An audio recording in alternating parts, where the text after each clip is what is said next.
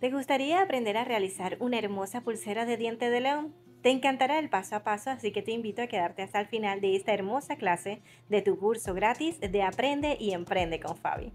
Utilizaremos hilo coreano, 70 centímetros, y otro de 1 metro 30. También vamos a utilizar unas hermosas cuentas como esta, unos muranos de color blanco y mostacillas número 8.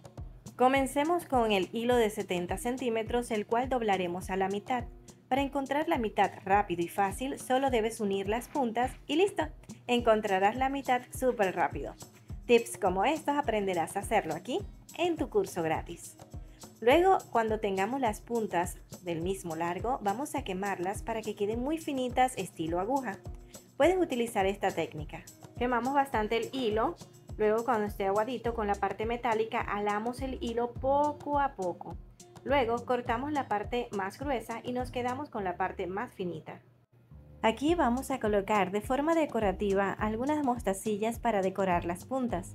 Aunque esto es algo opcional, siempre les recomiendo a todas mis queridas arañitas que lo puedan hacer, ya que esto ayudará a que tu pulsera se vea mucho más original y llamativa. Así que estos detalles son un punto a tu favor, no lo dejes pasar.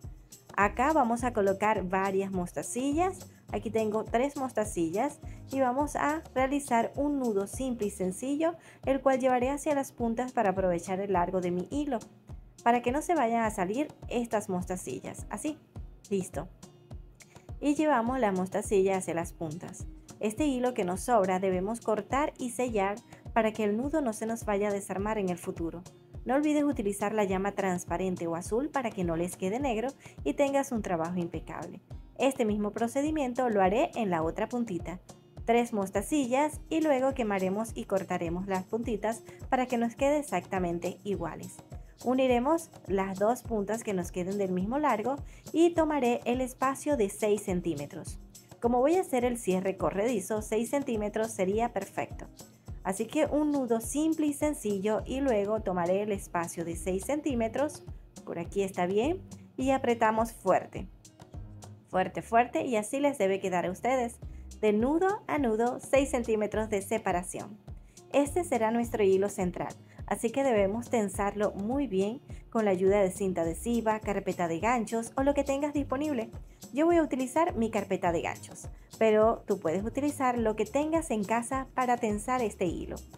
Recuerda que este es un curso gratis. Si quieres aprender mucho más diseños, detalles que te ayudarán a ser una profesional, escríbeme a nuestro WhatsApp y así aprenderás mucho más.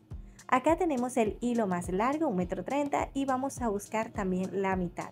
Unimos las puntas y encontramos la mitad rápido y fácil. Esta mitad la colocaré en la parte de abajo de nuestro hilo central para tener el mismo largo del lado derecho y del lado izquierdo. ¿Reconoces el nudo plano? Hoy te enseñaré a hacerlo, así que presta mucha atención. Tomaré el hilo de la derecha y lo pasaré por encima hacia la izquierda. El hilo de la izquierda pasa por encima del lado derecho, miren, por encima del hilo que viene del lado derecho y luego pasará por debajo de los hilos centrales para salir por esta barriguita del lado derecho. Miren, por debajo de los hilos centrales y sale por esta barriguita. Apretamos este nudo sin perder la mitad y llevamos hacia arriba. Ahora el segundo nudo lo hacemos de forma contraria con la izquierda por encima, el de la derecha por encima del lado izquierdo, por debajo de los hilos centrales y sale por este agujerito. Ahora nuevamente con la derecha por encima, el de la izquierda por encima del hilo de la derecha, por debajo de los hilos centrales y sale por este agujerito. Como puedes ver, vamos a ir alternando los hilos de lado y lado. Si este que lo hice con la derecha, el siguiente lo haré con la izquierda por encima y el de la derecha por debajo. Apretamos y ahora con la derecha por encima y el de la izquierda por debajo. Si alternas los hilos de lado y lado, como lo estoy haciendo, tendrás un nudo plano derecho y perfecto. Y si apretas con la misma fuerza, te quedará todos iguales y se verá un trabajo profesional. Si observas que tiende a doblarse hacia un lado, es que realizaste el nudo plano con el mismo hilo del nudo anterior. Aquí ya tenemos 4 centímetros de tejido. Queda fantástico. Tomaremos los hilos centrales y los cortaremos a la mitad y estas puntitas también vamos a quemarlas para que puedas introducir cualquier avalorio con rapidez y fácil. así que quemar las puntas es muy importante. Yo utilizo la técnica de la parte metálica de nuestro encendedor, pero hay diferentes técnicas que puedes utilizar para colocar las puntitas súper finitas. Inscríbete desde ya en nuestro curso gratis para que aprendas a hacer todas las técnicas y tu trabajo sea mucho más fácil y rápido.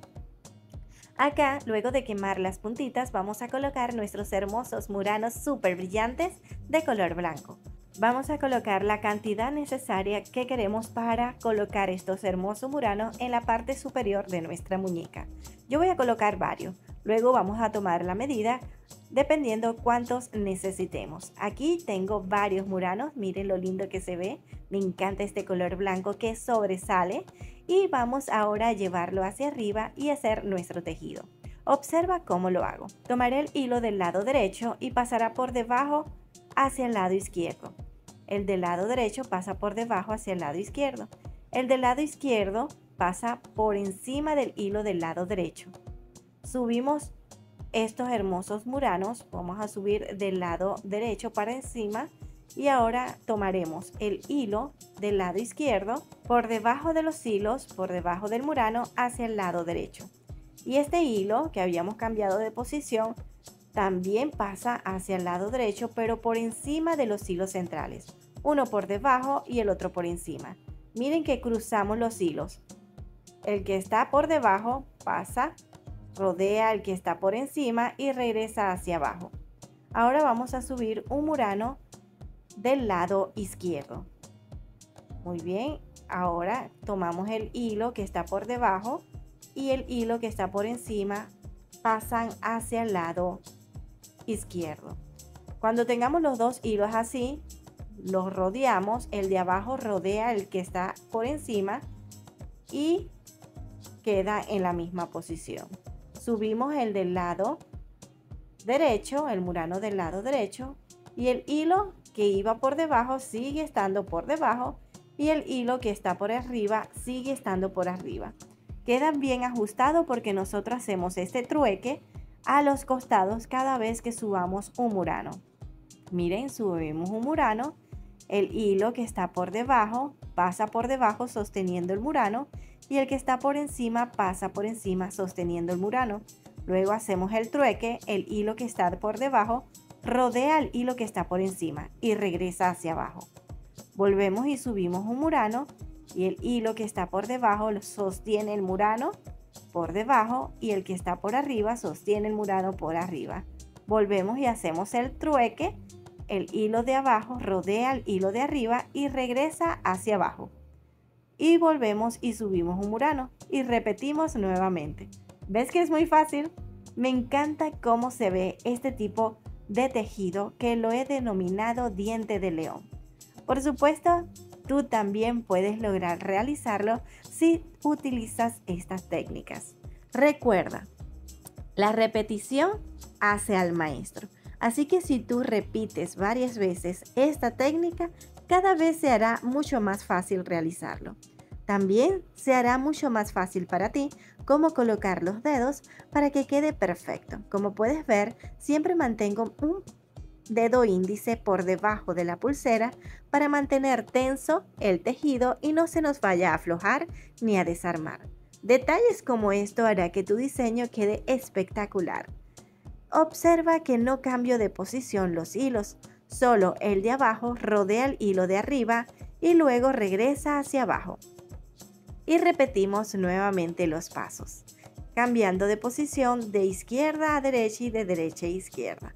Así, yo colocaré en el lado derecho 7 muranos y en el lado izquierdo 6 muranos. Es de la cantidad que colocaré yo, pero si deseas colocar más para una muñeca más gruesa, es dependiendo de tu gusto.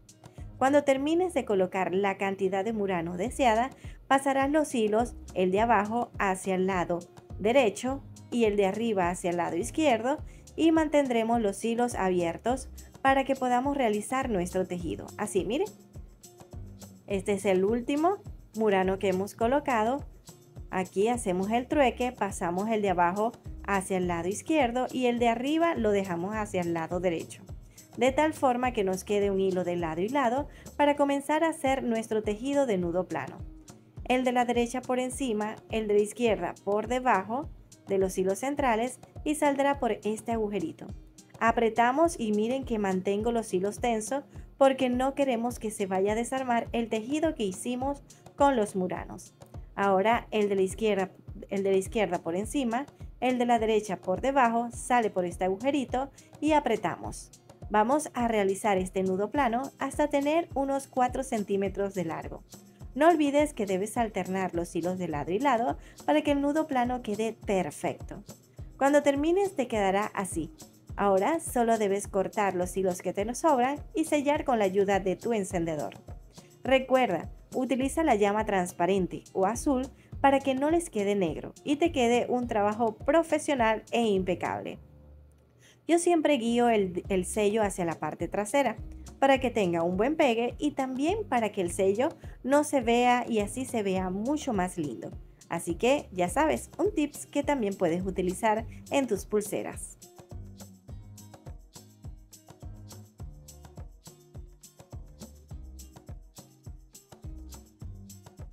Listo, ahora sí, este tejido está listo y miren lo hermoso que se ve un tejido diente de león. Me encantaría saber tu opinión acerca del resultado. Para el acabado vamos a realizar un nudo simple y sencillo con los hilos que nos sobran bien pegadito al sello que acabamos de hacer. Protegerá el sello y el tejido este nudo. Así que es muy importante que lo hagas. Ahora lo que vamos a hacer es que en cada hilo vamos a colocar tres mostacillas. ¿Recuerdas? Como lo hicimos al principio tres mostacillas en cada uno de los hilos, estas de color tornasoladas. Mientras lo hacemos, quiero aprovechar la oportunidad de invitar a todos a que puedan suscribirte a nuestro canal. Tanto a mis queridas arañitas que ya están inscritas en nuestro curso gratis, si no lo has hecho, puedes suscribirte a nuestro canal aquí en el botón rojo, donde dice suscribirte. Lo puedes hacer desde ya. Luego, cuando le des clic a este botón, aparecerá una campanita. Esta campanita es muy importante que la actives. Para hacerlo, solo debes darle clic y escoger la opción Todas. Es para que puedas estar atenta a todas las clases.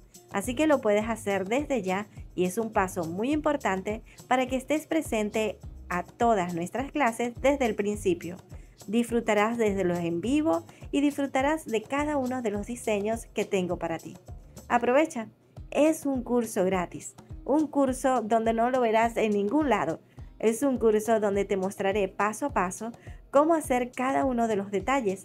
Tendrás asesoría gratuita mediante WhatsApp y también diseños nuevos ideas increíbles para que enamores a tus clientes y tengas un negocio exitoso. Así que es tu oportunidad de emprender tu propio negocio desde ya. Inscríbete desde ya a nuestro curso escríbeme a nuestro WhatsApp.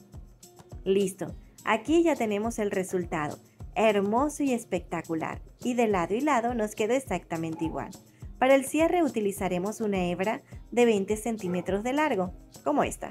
Luego tomaré mi pulsera y cruzaré los hilos de lado y lado para hacer el cierre en este lugar. Tomaré una pinza para mantener mi pulsera cerrada mientras realizo el tejido del cierre.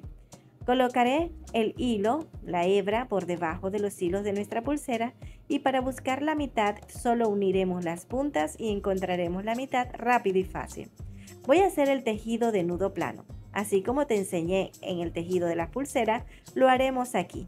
El de la derecha por encima de los hilos de la pulsera y el de la izquierda por debajo. Ahora el de la izquierda por encima y el de la derecha por debajo. Realizaremos este tejido bien ajustadito para que quede firme. También es muy importante que realices el largo que más te guste. Sea largo o corto es dependiendo de tu gusto.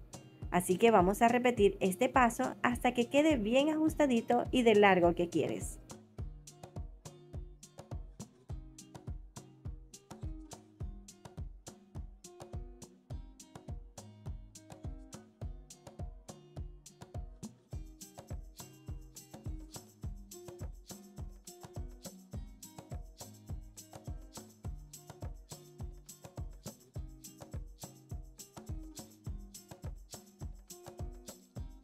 Listo, quedó perfecto. Ahora solo debemos cortar y sellar. Les recuerdo que el sello no debe tocar los hilos de la pulsera para que puedan deslizar suavemente. Así que vamos a sellar con mucho cuidado.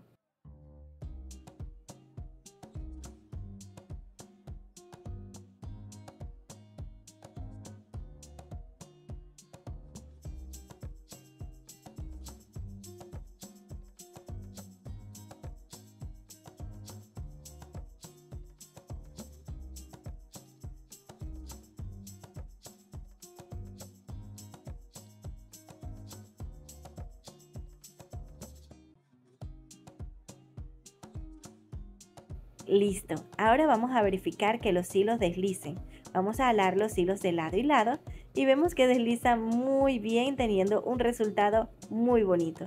Me encantaría saber tu opinión, así que te invito a escribirme aquí en la parte de abajo del video qué les pareció este diseño diente de león. ¿Ya lo habías visto? Déjamelo saber en los comentarios mis queridas arañitas. Me encantaría saber también de dónde nos ven. No olvides compartir esta clase en tus redes sociales, a tus amistades para que muchas personas puedan seguir aprendiendo. Nos vemos en un próximo proyecto.